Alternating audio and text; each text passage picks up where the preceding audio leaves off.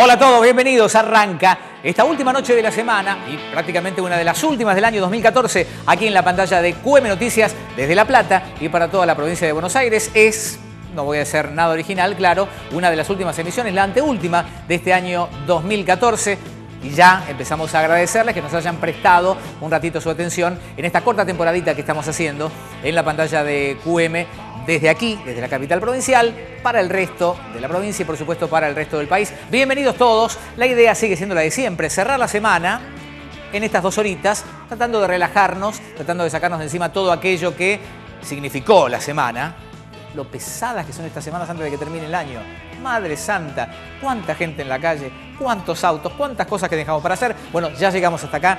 Lo que no hicimos ya no puede hacerse. Relajemos, Gracias por compartir esta última noche de la semana con nosotros y ya pueden hacer, por supuesto, sus comentarios a través del WhatsApp, que lo tenemos habilitado, 221-675-4444. En Twitter somos arroba Última Noche TV o en Facebook somos Última Noche TV. La idea, insisto, es relajarse y tener un rato de buena charla. Para eso, por supuesto, vamos a contar con invitados como cada viernes, interesantes, piolas, con historias. Nos vamos a sentar acá en el living y vamos a disfrutar un rato. Pero claro, antes hay otras cuestiones. Y tiene que ver con algunas obsesiones que uno tiene. Hemos contado desde el primer viernes, esto de buscar desde la capital de la provincia, una ciudad con características propias, cosas que podamos tener en común con diferentes puntos de la provincia de Buenos Aires, con eh, lugares que pueden ser igual de grandes o mucho más chicos, con diferentes realidades, pero hay cosas que nos unen a todos. Y estaba pensando en este tema de, iba a decir un nombre que cuando yo era chico no se mencionaban así estas cosas. Básicamente yo quería hablar de los pósters. Pero cuando yo era chico se hablaba de afiches o láminas. En casa era así.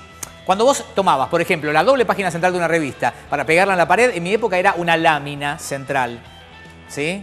Después se convirtió esto en afiche. Ibas a un lugar a comprar los afiches. Allá por los 80 había lugares que vendían específicamente afiches. Vivían de eso. Una cosa rara. Yo lo recuerdo solamente afiches comprabas ahí. Y después, claro, venía la parte de adornar tu habitación o la parte de la casa que quisieras con esos pósters. Eh, confiábamos mucho en lo que venía en las revistas. La revista 1320, yo trabajaba con ellos. A mí me, da mucha cosa porque muchas de estas cosas yo ya las viví. ¿Viste cuando decís, no, esto pasó hace 30 años? Pues yo estuve ahí. Miércoles. Claro, venía el póster central de la revista eso iba derecho a tu pared, por supuesto. Sí, tenía que ver con tu gusto. Podía ser eh, seguramente algo musical, alguna de las bandas que te gustara. Podía ser deportivo, seguramente. También el equipo de fútbol que te gustara o el deportista que vos siguieras.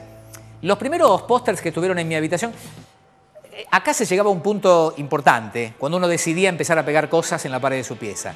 Primero, salvo que quisieras ir al choque, a romper directamente, primero negociabas con tus viejos se abría el periodo de negociación y decías, quiero pegar pósters en la pared.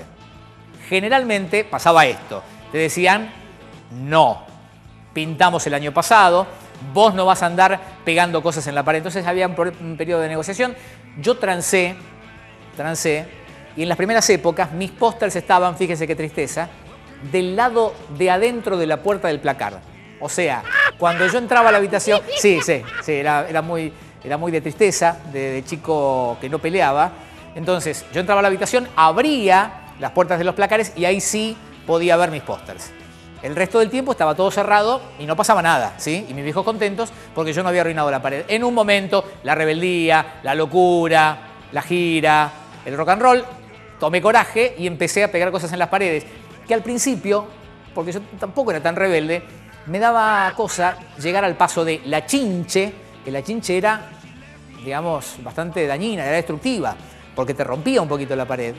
O la cinta scotch, ¿sí? la cinta adhesiva, que también dejaba la marca. Entonces al principio opté por un método mucho más triste, porque era eh, muy transitorio. Eh, esto fue, no, no era moco, pero parecido. Mediados de los 70, hincha de Boca, el Boca de Lorenzo, bicampeón en el año 1976. Mis primeros pósters fueron de Boca, venían en el diario, ¿sí? El equipo campeón te salía al día siguiente o la semana siguiente, doble página central, el equipo, atrás estaban todos paraditos así, los de adelante estaban así, tenías todos ahí, Gatti, eh, Mouso, eh, eh, a ver, Mouso, Sa, bueno, no me acuerdo de todo el equipo, Fiki Felman adelante. Entonces, ¿qué hacía yo? Agarraba esa doble página, le chupaba un poquito la puntita, mojaba con saliva y lo pegaba en la pared.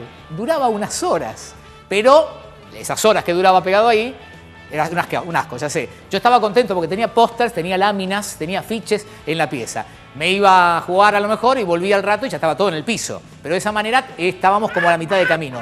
Yo tenía mis afiches y la pared no estaba dañada. De esa manera más o menos conformaba a mis viejos.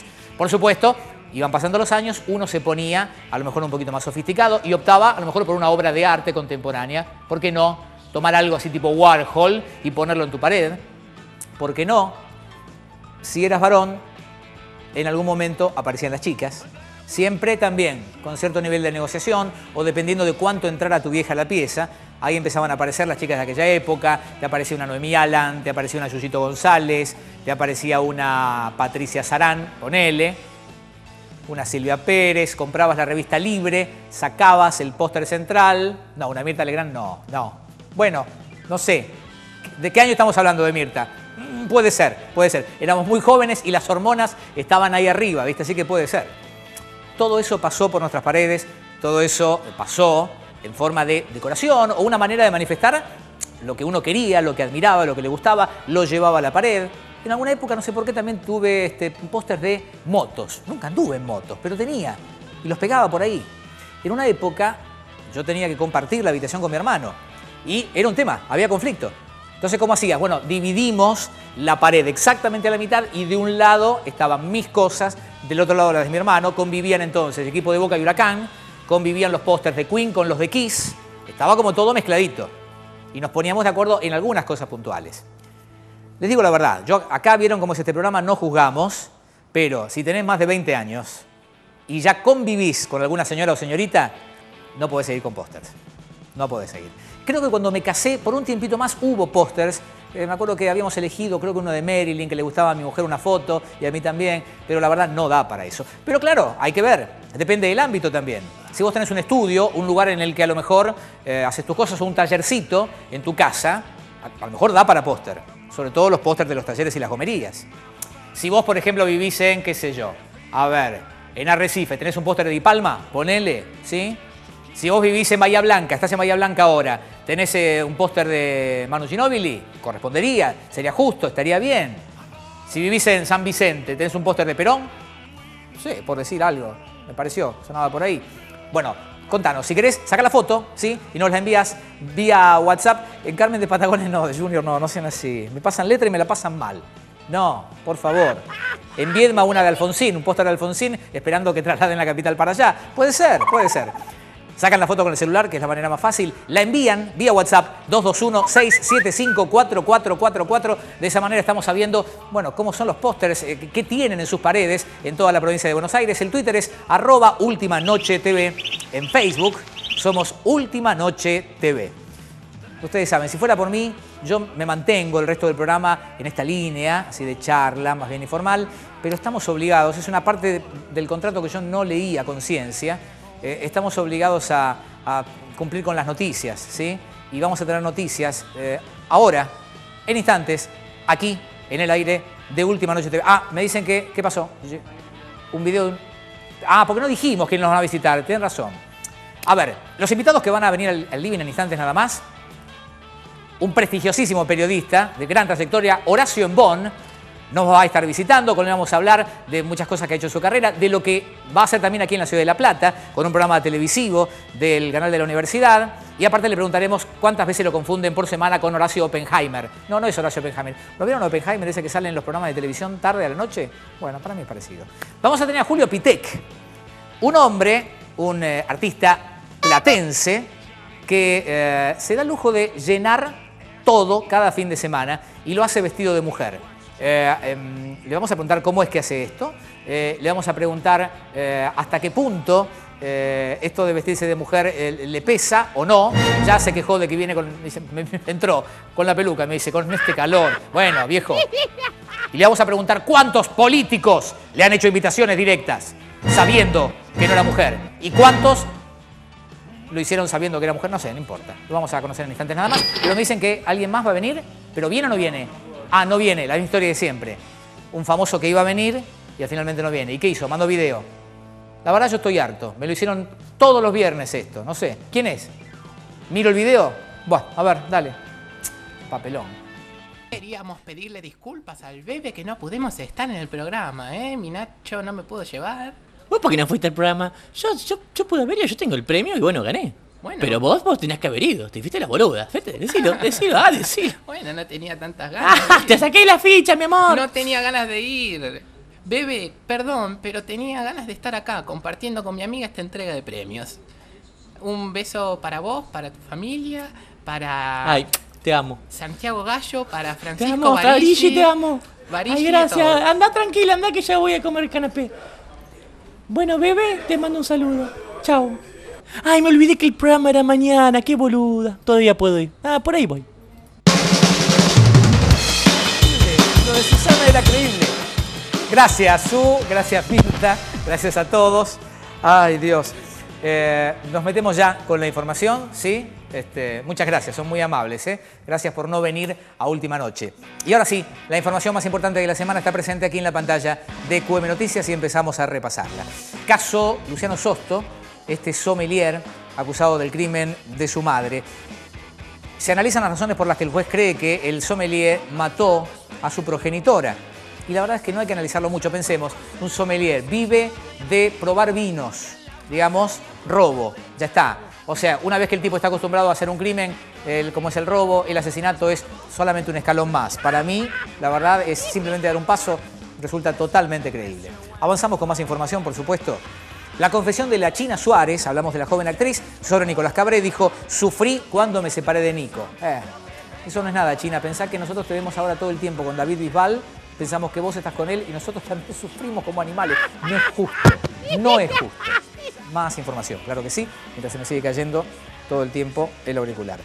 En la mesa de Mirta Legrand, Nicole Neumann anticipó que se va a hacer vegana. Durísima confesión. La modelo dijo, me estuvieron contando cómo es el tema de la vaca y la leche y dije, no quiero más. La pu- ¿Qué le habrán contado, no? Porque aparte, el tema de la vaca y la leche. ¿Cu- ¿Cuál es el tema de la vaca y la leche? ¿Qué sabe ella que nosotros no sabemos? ¿Qué le contaron? Joder, Nicole, ¿qué descubriste? ¿Que la vaca de Milka no es violeta? No, no, no lo puedo imaginar. Bueno, que sea con suerte, Nicole, que te vaya bien. Más información, por supuesto. En este caso, la información llega directamente desde México. Mató a su marido, lo descuartizó y esparció los restos en la ciudad. Y así fue como lo fueron encontrando, ¿sí? Iban diciendo la cabeza, un brazo, una mano. Así iban encontrando. No, no, terrible, perdón. Sí, me fui de cámara, pero porque íbamos encontrando los diferentes pedacitos. Eh, se trata de una psicóloga que asesinó a su marido y con una sierra eléctrica lo cortó en varias partes, que las desparramó en diferentes barrios de la capital azteca. Eh, ojo, ¿ven a la señora? ¡Ey! Si hay que morir de algo, bueno. Y de última, si me descuartiza, hay que ver qué pedazo deja para el final. Digo, no sé, yo lo pensaría. Más. Misterio por la aparición de un joven financista muerto en Costanera Sur, en Capital Federal. Yo me pregunto, misterio, muchacho. ¿Cómo están desapareciendo los financistas? Está bravo el asunto, ¿eh? Está complicado. Mm, es casi tan peligroso como ser contador en Cariló últimamente. No es misterio, muchacho, está pasando seguido. Me parece, se convierte en profesión de riesgo ser financista. Digamos las cosas como son. Para el final, senadores transforma en ley el proyecto que instaura el Día de la Identidad Villera. O cómo hacer de una situación terrible algo para sentirse orgulloso. El próximo paso sería entonces generar el Día de la Identidad de la Mujer Golpeada. De esta manera, con tranquilidad y tras haber ofendido solo a la mitad de la población de la provincia de Buenos Aires, damos por terminado este repaso por las noticias más importantes de la semana, aquí, en Última Noche, en la pantalla de QM Noticias.